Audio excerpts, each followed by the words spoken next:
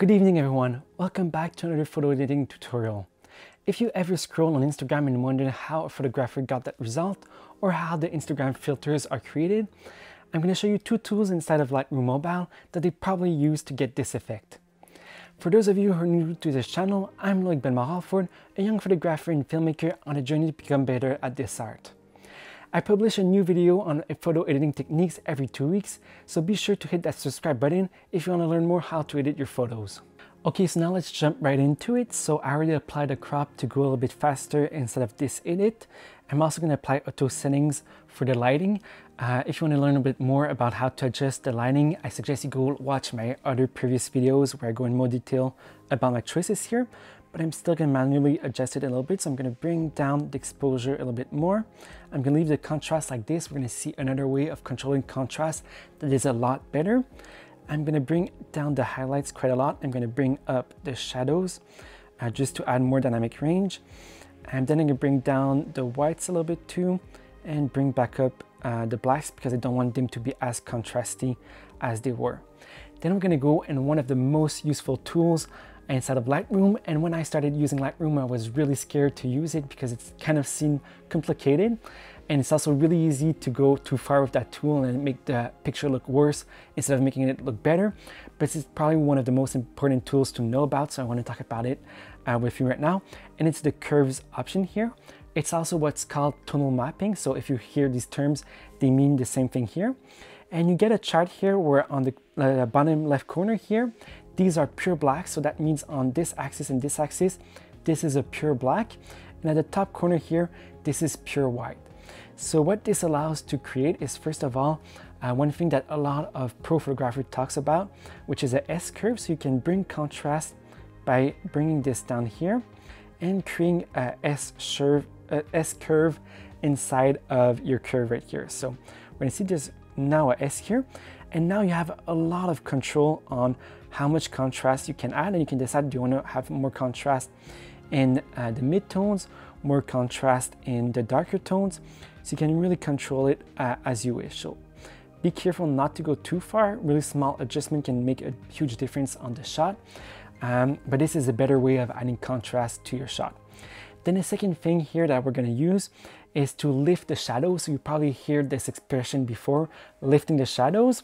And this basically means that you're gonna take the blacks and you're gonna make them more white in the end. So that's simply what's lifting the shadows. And this is a very, very popular effect in Instagram filters. So we're simply gonna see, if you look at the darks here, dark parts here of the picture, we're gonna take our blacks here and we're gonna lift them up and make them more um, white. So they're gonna not be as black, as pure black anymore. So this is how a curve works. I'm not gonna go through the other curves here. I might just adjust it a little bit more. And I think something like this is looking pretty good. Now uh, we can click on done. We're gonna go inside of color here. And now instead of adding uh, some saturation or some vibrance on everything, we're to go inside of the second most useful tool, I think inside of Lightroom uh, that most effects use on Instagram, and it's the mix tool right here. So if you come inside of here, it allows you to change different colors, and this is what you call the HSL uh, section inside of Lightroom. So it stands for hue, saturation, and luminance. If you don't know what these terms mean, hue is basically uh, how a color looks like. So you can make a red look more like pink or more like uh, orange in here. Uh, saturation is how much the color is intense, so it can be less intense or more intense. And luminance is if it's lighter or a brighter or darker in the end. Um, so we're going to come here and we're going to apply one effect here to play with the colors because I think there's a little bit too much green in this shot. I want it to be more orange and yellow because fall colors are usually more orange and yellow.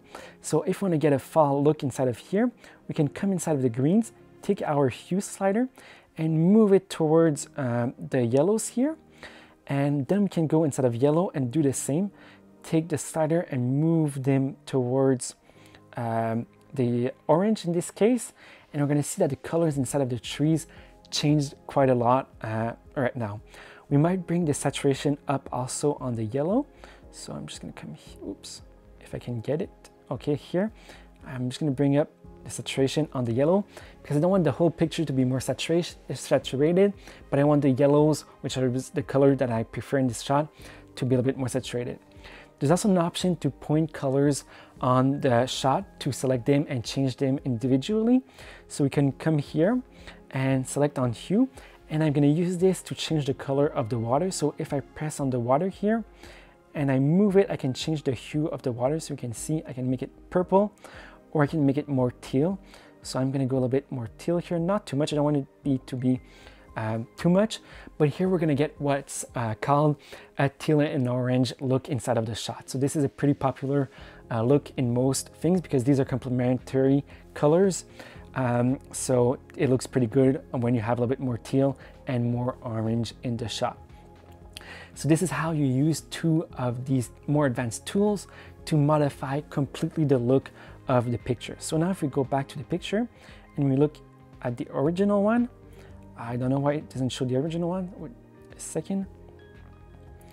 If we go in the versions here and we look at the original one, the current one, you can see it's quite a difference between the two. So we're gonna go back in the menu here. There's another edit I wanna do just to finish it off. And it's going inside of effects here. We're gonna add a little bit of dehaze because um, even though it looks like a perfectly blue sky day, there's still a little bit of haze because the mountains were pretty far, so you wouldn't see as well. So just adding a little bit of dehaze here helps to bring back a little bit more of this contrast in the shot and just make everything look a little bit better uh, in the end. So this is the final edit. I might go back just as usual, go back inside of exposure here, bring back the exposure up a little bit, maybe bring the highlights down even more. And yeah, now we have our very stylized uh, final edit.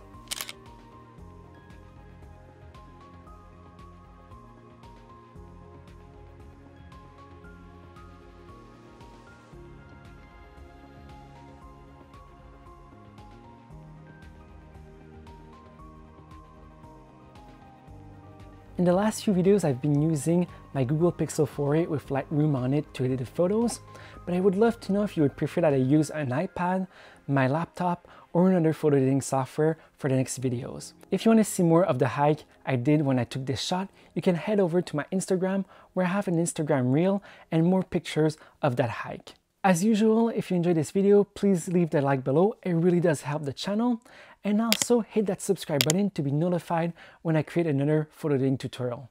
See you in the next one. Bye-bye.